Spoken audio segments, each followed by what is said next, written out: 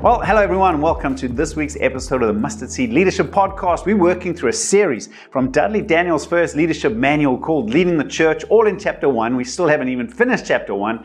And uh, the series is called Questions to Ask Yourself as a Leader. And we are up to question number eight out of 10. And the question of the day is simply this Are you a faith person. Numbers 27, verse 18. So the Lord said to Moses, Take Joshua, son of Nun, a man in whom is the spirit of leadership, and lay your hands on him. Joshua was a man of great faith. His uh, responsibility was to take over from Moses, the mighty man of God, and now lead the people of Israel into the promised land against all of the giants, against all of the enemy forces. And it required great faith, be strong and courageous. And the question is for us as leaders, are we faith people? Are we people willing to take a risk because we've heard God and are willing to step out? So here's a couple of points. Number one, do you see giants or do you see the Lord? Our perspective is shaped by our faith. In fact, it says in Numbers 13, 31 to 33, but the men who had gone up with him, in other words, 12 spies went, 10 of them went with Joshua and Caleb. They all saw the same thing, but their reports were very different. They said, we can't attack these people. They are stronger than we are.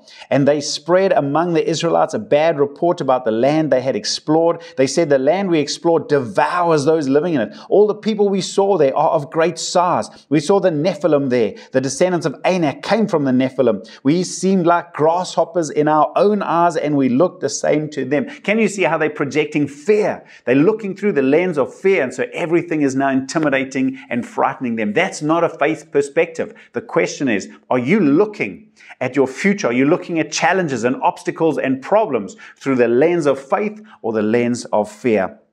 We need to guard our thinking and talking. We need to surround ourselves with faith, faith, people. What we focus on grows. So if you focus on the Word of God and what God has said, faith grows. If you focus on the problems, they grow as well. Secondly, then, we should be much more like Joshua and Caleb. Uh, going back a few verses in Numbers 13, 26 to 30, they came back to Moses and Aaron and the whole Israelite community at Kadesh in the desert of Paran.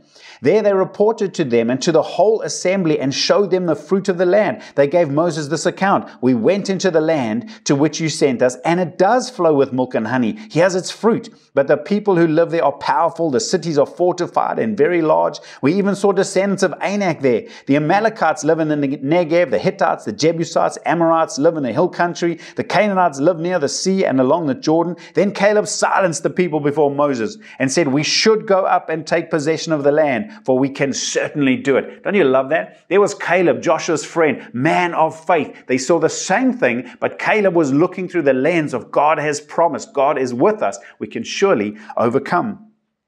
The filters of faith or doubt make all the difference. So, thirdly, then, the activity of faith brings God's mighty power into life's situations. Now, this is so crucial. Do we want to see supernatural evidence of God at work? Well, His power flows through doors of faith. That's why I sometimes ask people, do you need a natural solution or a supernatural solution to your problem? And they invariably say, oh, we need a supernatural solution. Then I challenge them, if you need a supernatural solution, you're going to need to open up a door of faith because Hebrews 11 verse 6 it says without faith it's impossible to please God. God is pleased when his men and women trust him, trust his word, believe in his character and step out and take a risk.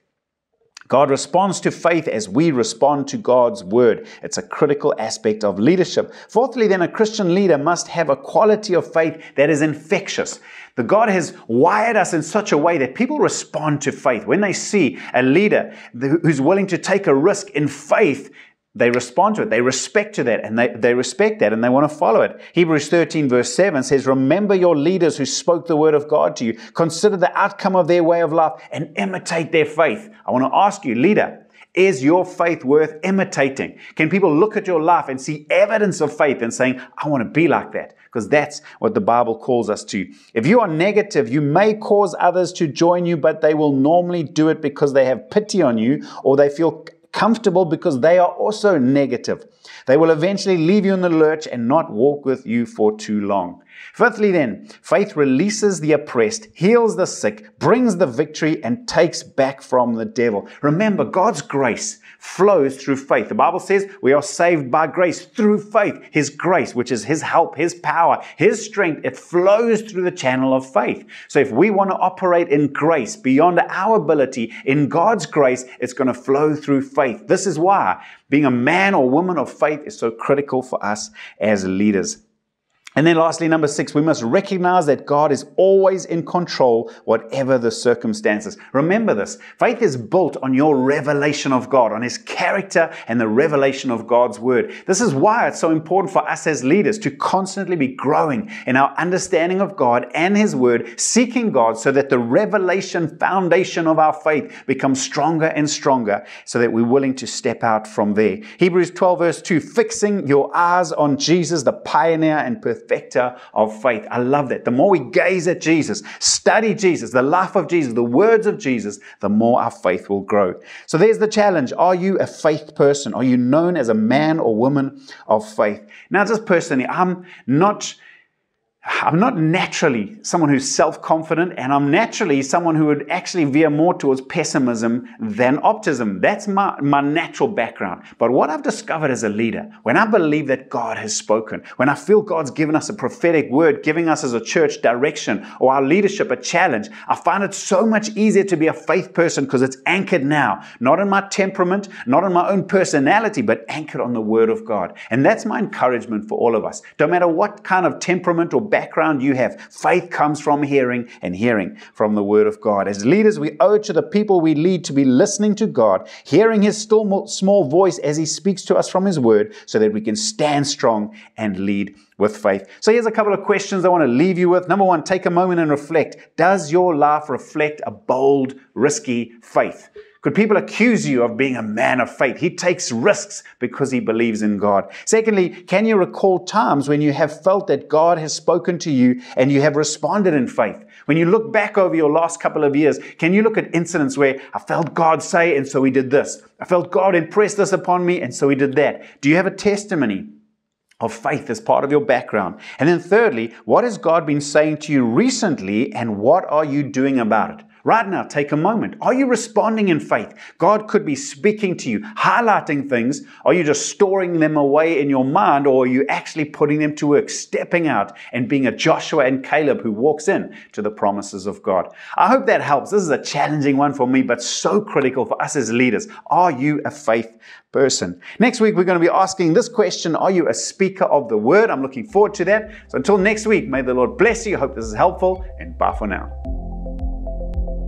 Thank you for listening to this week's episode. Remember, if you'd like the notes that come along with this episode or any one of our past episodes, you can visit outlookchurch.co.za forward slash mustard seed leadership, where you can see all our past episodes, all the resources and notes that go along with this. Until next time, keep growing.